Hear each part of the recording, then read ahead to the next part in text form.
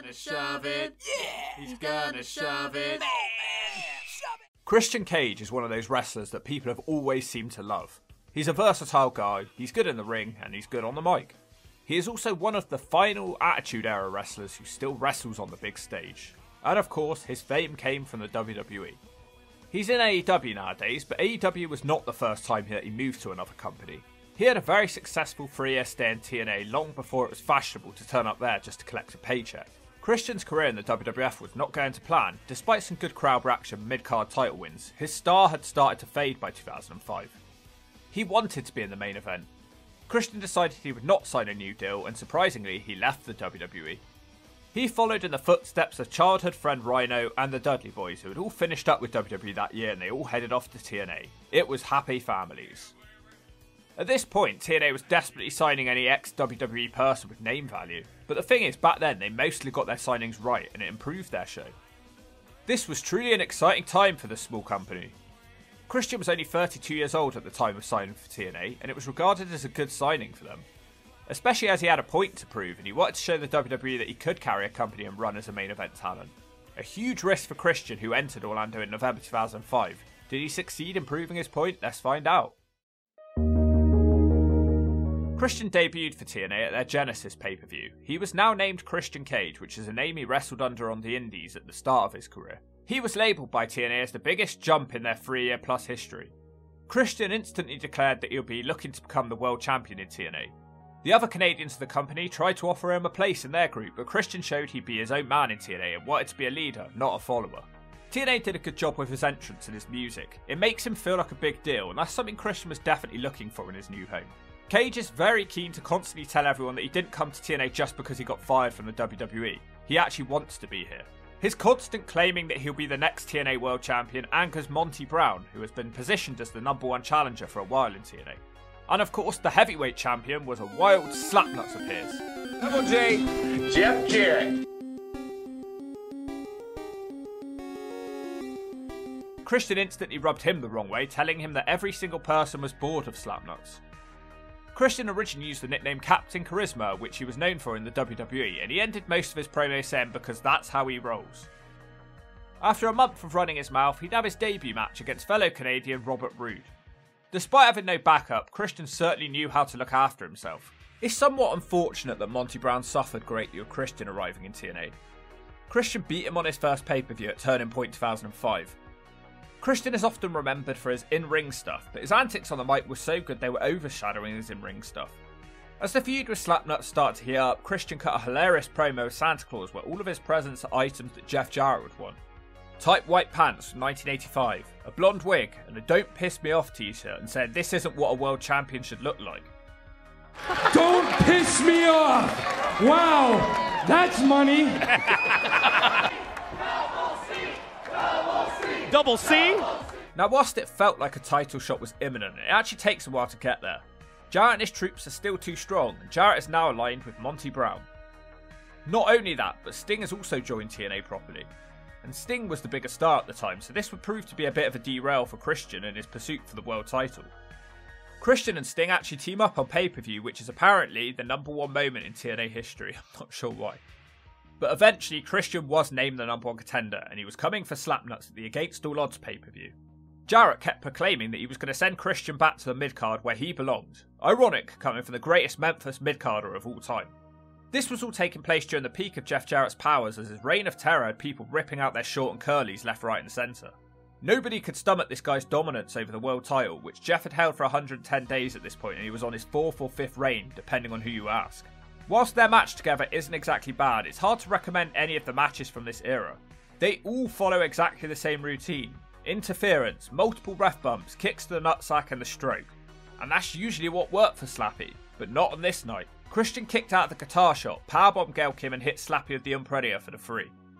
It took about four months for Christian to capture the title, which isn't too bad.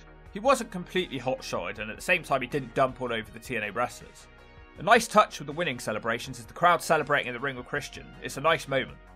He also cuts a scathing promo afterwards about all the people who have doubted his abilities. He was told for eight years that he wasn't big enough, he was too ugly, and he didn't have it. Well, now look at him. Christian says the belt is the most prestigious in this industry, and after 12 years of working his ass off, he'll finally go down with the past legends who've held this belt. His first challenger for the belt would be the floundering Monty Brown. It feels a bit pointless considering Christian already beat him a couple of pay per views before. What's the capital of Thailand? Bangkok! It's a refreshing main event though to have, but annoyingly most shows still end with Jeff Jarrett's face.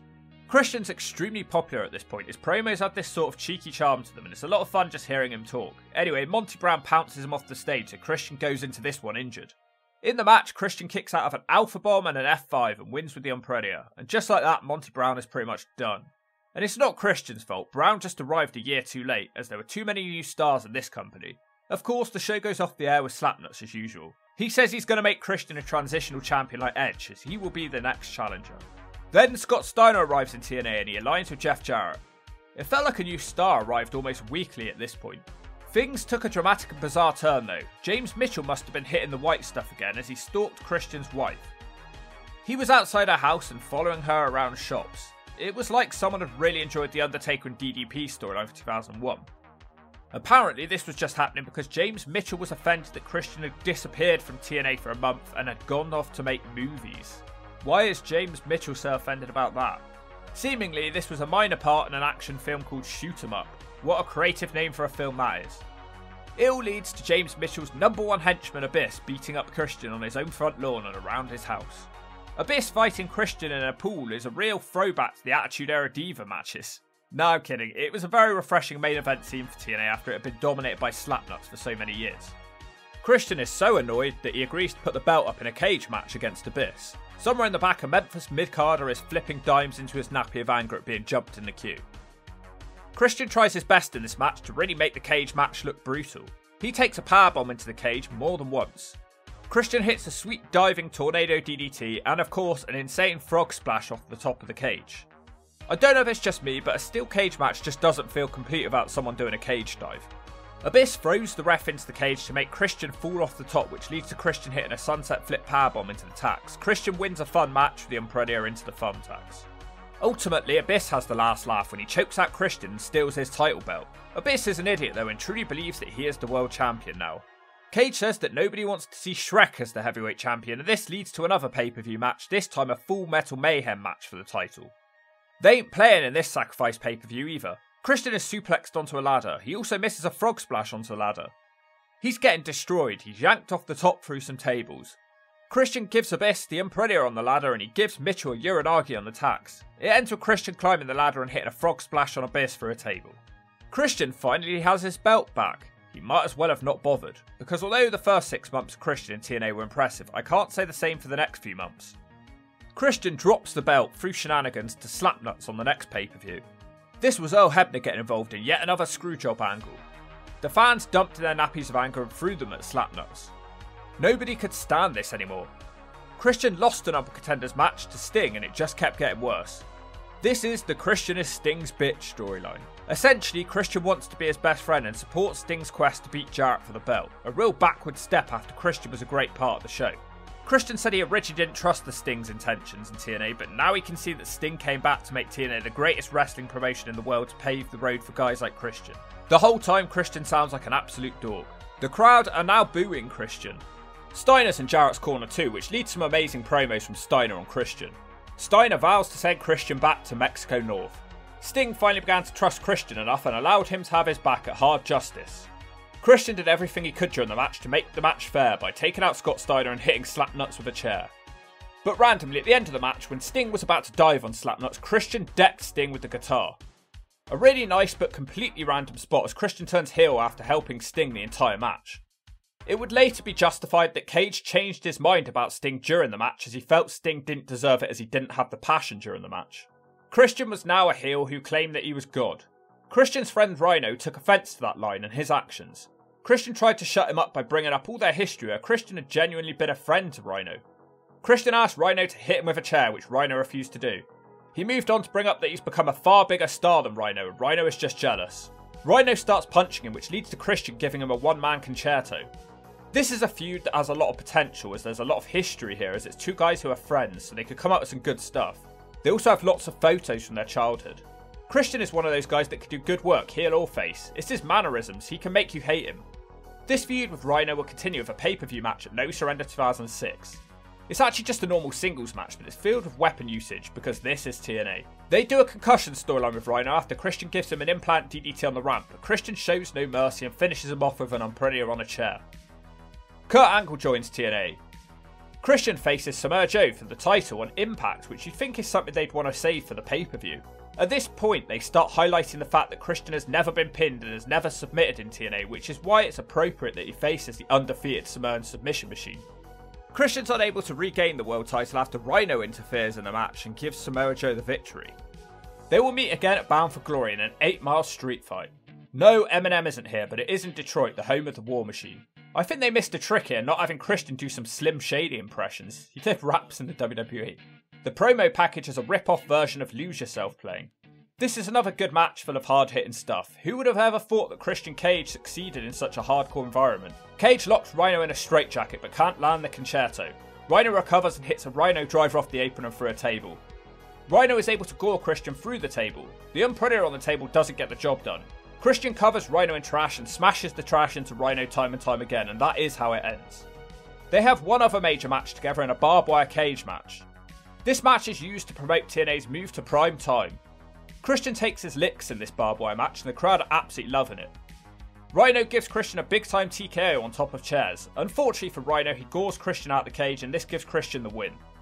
I can't help but feel that these matches were really fun and hardcore, but the story was lacking a bit. I would have expected a bit more stuff to be used from their past to really push the boundaries in this feud. It's a really nice feud overall, it just could have been better. As the feud wraps up, that wraps up Cage's first year in TNA. It's a pretty good first year, and it was surprising how hardcore Christian Cage became. Despite winning the world title once in his first year, I don't feel like he quite established him as a main event guy, as it was clear that people like Sting, Slapnuts, Joe, and Angle were seen as a bigger deal at the time. Quite honestly, they overshadowed him. Following my comments, Christian must have been sulking because he decided to hire some backup to improve his chances.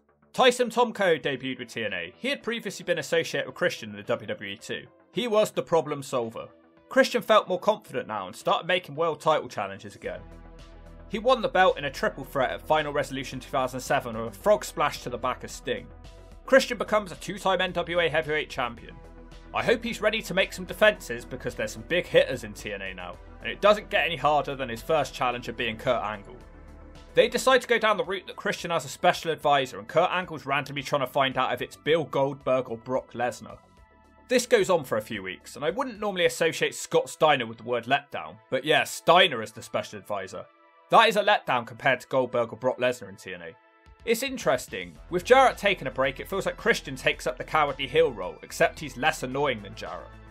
Shockingly, Christian Cage is able to beat Angle on pay per view, which might surprise you considering Angle is pretty new to the company. I guess that's what happens when someone hits you in the throat with a pipe. Christian's next problem was that his two big men hated each other. Steiner thought Tomko was a redneck, and Tomko said Steiner was a loudmouth. Christian was deluded and thought they were all an inseparable happy family, and he dubbed them the Christian Coalition. Steiner was constantly in an uncontrollable rage. At the same time, Tomko was the number one contender, but Christian kept stringing him along. Samoa Joe is the next challenger at Destination X 2007, which unfortunately doesn't have much of a story other than Christian as a dick. This one was booked like a complete afterthought, and then Christian had possibly his best TNA match against him. Joe isn't undefeated at this point, but strangely, Christian still is. It has to be one of the weirdest undefeated streaks ever. It's hardly ever mentioned. Christian has lost loads of matches, but they've all been multi man matches where he didn't end up taking a pin or submit. Christian wins the match. There's a big War Games match coming up now Christian's coalition taking on Kurt Angle's men. Christian is worried about Angle and Joe, so he has the Monster Abyss added to his group. He persuaded Abyss to do it by saying that he could offer Abyss family. AJ Styles was also seen hanging around with Christian a lot at this time. Seemingly he was too wacky and had nothing better to do. It turns out that Christian had been persuading all of these guys to back him up by promising each of them separate title shots. It's a pretty compelling storyline because he's handing out so many title shots it's hard to see how he can escape from the situation.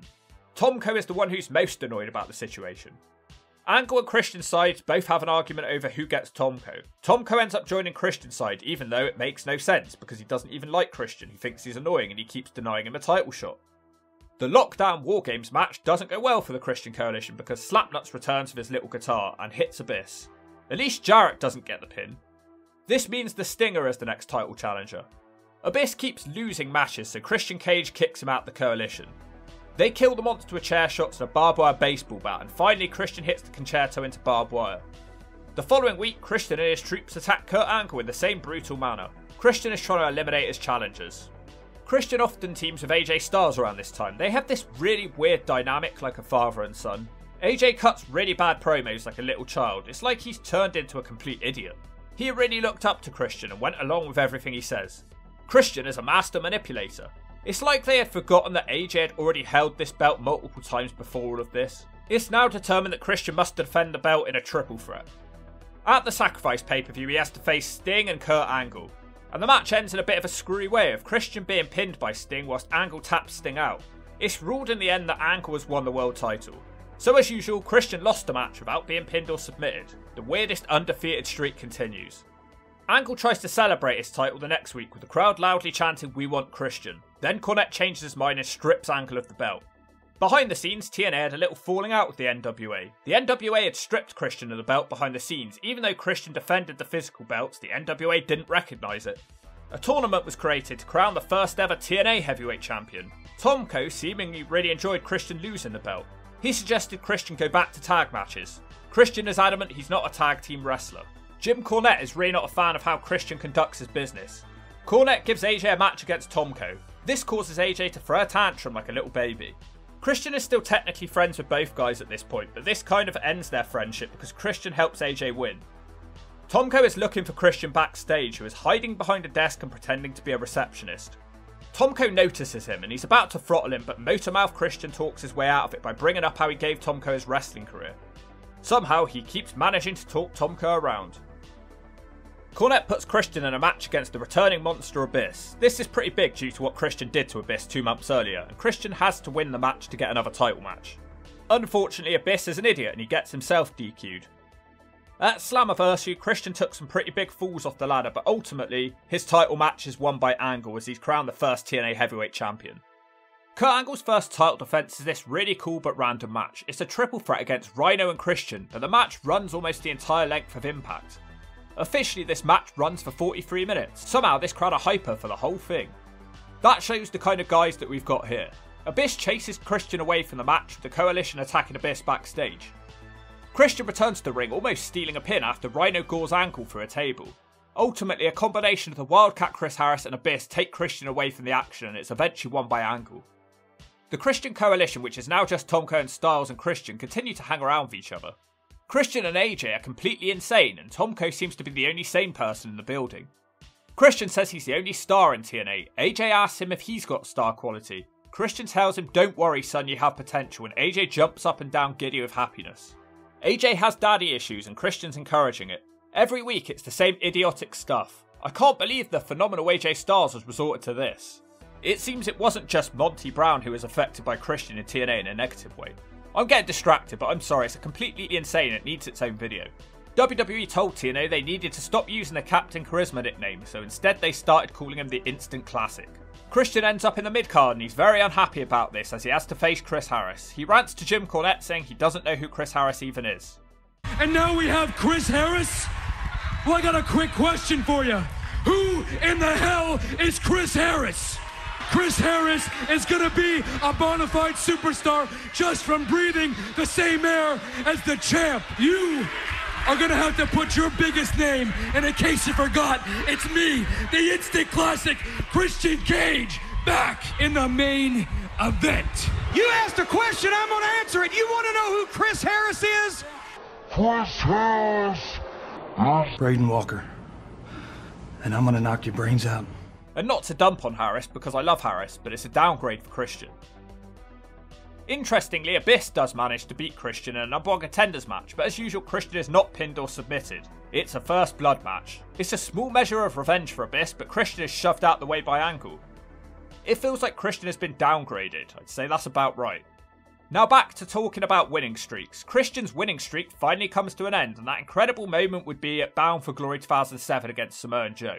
Christian's streak lasted 23 months compared to Samoa Joe's, which is 18 months. I think it's because Joe was dominant throughout his streak, whereas Christian snuck a lot of his wins or kept out of the way when his team lost a match. Sure, Christian won plenty, but he didn't feel dominant. Still incredibly interesting though because Joe's streak is the only one to ever be mentioned. The Muscle Buster and the Coquina Clutch finally make Christian tap out. Now away from the title, one of my favourite things that Christian does in TNA is his mini feud with Kaz. Kaz was a guy who TNA saw something in, but he was a pretty blank slate personality wise.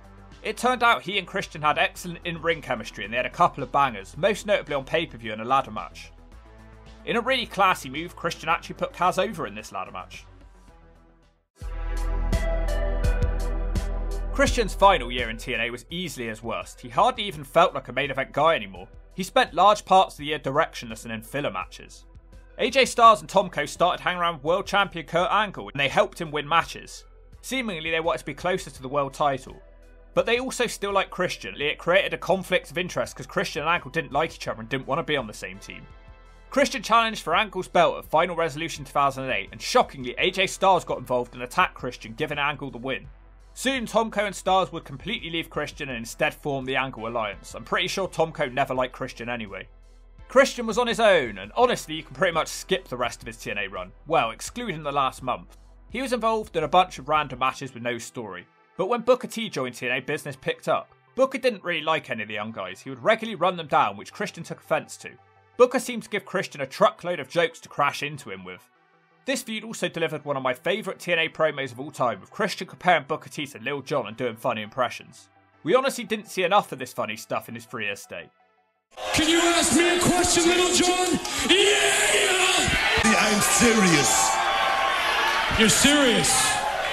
Okay! Christian! What? The TNA frontline was fighting the main event Mafia. Christian didn't want to join either side though because he felt like he related to both sides. The young guys were ultimately too dorky for him. Both Booker T and AJ were trying to get him to choose a side. He could have fitted in either faction. He refused to side with either side even when asked point blank. Cornette made the three of them have a triple threat match at Bound for Glory, and I just really loved this match for some reason. It's a nice blend of styles. It was sure better than a Christian Cage and a pole match. Booker T wins an incredibly fun triple threat match where all three guys worked really well together. Find and check this one out because it's not one that's brought up very often. The time finally comes when Christian's hand is forced to make a decision at Turning Point 2008. Booker T faces him and puts his Legends title up, but if Christian lost the match, he would be forced to join the main event Mafia. And lose he did. Christian just couldn't seem to get a result against a Booker man. But Christian didn't join the Mafia. Kurt Angle revealed he'd heard rumours that WWE had made Christian an offer, and he thinks Christian is going to accept that offer. Christian is punking out on both the Mafia and the Young Guys, so the Mafia give him a going away present and ass kicking. Christian was done with TNA, ending his three year stay. Christian was back on WWE telly three months later. They put him on ECW. I think the WWE viewed Christian as slightly better when he returned. He had two heavyweight title reigns in the end. Neither of them were exactly good, but it's possibly more than he would have got if he'd stuck around. Christian Cage in TNA was a good thing as he was one of the first people to make the jump and he showed that wrestlers could have a career away from the WWE. He probably encouraged more wrestlers to make the jump in the future. Year 1 in TNA was excellent. He had the crowd behind him as a babyface, great matches and promo, and strangely a lot of hardcore stuff. Year 2 was also good, but wow, what a strange undefeated streak. The stuff with Kurt Angle, Styles, and Tomko started getting a bit silly, and you could see that Christian was getting a bit bogged down by year 3 of all the stars TNA were able to sign. I still think it's a damn shame Christian was unable to capture the TNA heavyweight title, just the NWA one twice. The main thing to take away from this video was that Christian was the star we all needed when the reign of terror was driving us all nuts. He was something fresh and completely new which changed up the main event scene. Christian Cage would return to TNA in 2012 for one night as he announced the number one moment in TNA history. That tag match he did with Sting at Final Resolution. A strange choice, but I guess it might be seen as a moment that TNA became a more serious contender with two big stars here. Christian Cage looked like he wanted to be any place but the Impact Zone in 2012. TNA were only able to get him as they agreed to let Ric Flair do some WWE stuff in return.